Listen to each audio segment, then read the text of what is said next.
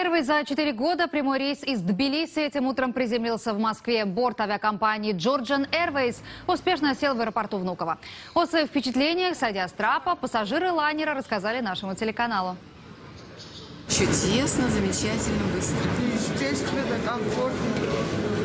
И нормально, ребята. Так и должно быть. Народы должны любить друг друга. Желающих прилететь в нашу страну было немало. Больше 80% билетов раскупили в первые же часы. Днем ранее в грузинском аэропорту приземлился российский борт авиакомпании «Азимут». Сейчас отменены не только ограничения на полеты между странами, но и визовый режим, который ранее действовал для грузинской стороны. К огромному наплыву туристов сейчас готовятся и российские регионы. Уже сейчас они демонстрируют, что такое настоящее гостеприимство.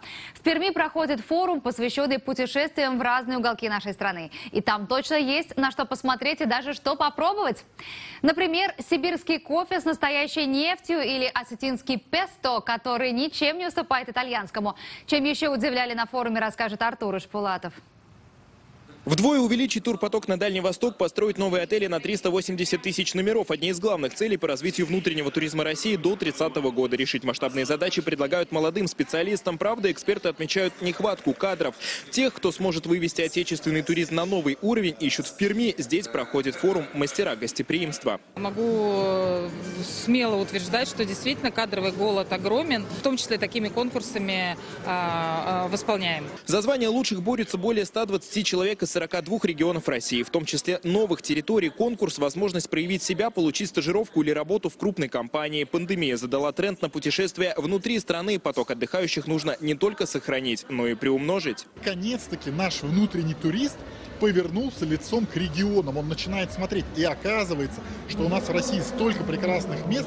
На форуме привлекают туристов в регионы России. В Оренбурге готовы показать красивую природу, рассказать секреты создания пухового платка и провести экскурсии по медиплавильным заводам. В Челябинске предлагают своими глазами увидеть метеорит, который упал в феврале 2013 года. Это уже бренд Южного Урала, и сюда доставили фрагмент болида. Необычное предложение у сибиряков отправиться в нефтяной тур и увидеть, как добывают черное золото. Нефтью участники Сибири даже напоили своих коллег. Делаем классический напиток капучино и добавляем в него нефть, очищенную с, да, с ароматом карамели. Зовут и на уху, тоже с нефтью. Мы проводим экскурсии. Люди могут почувствовать себя в роли человека, который добывает нефть, и могут попробовать э, уху, которая готовится на основе нефти. В Северную Осетию завлекают гастротурами. Для гостей готовят национальные блюда в горах на высоте 3000 метров. Найдут там, чем удивить и любителей европейской кухни. Наверное, все ели песто, да? Но осетинский песто э, пробовали итальянцы и сказали, это совершенно другая история. На форуме предлагают стартапы по улучшению привлекательности регионов от реконструкции набережных до создания целых природных парков. В каждом субъекте должно быть место, известное на всю страну. Развитие туризма на форуме рассматривают и с экономической точки зрения. Там, где есть спрос, находятся инвесторы для строительства отелей и ресторанов, поставщики продуктов. Востребованными становятся экскурсоводы и музейные работники. Приносят путешествия и положительные эмоции. Туризм – это не бизнес, туризм – это про передачу а, своей собственной любви к родной земле.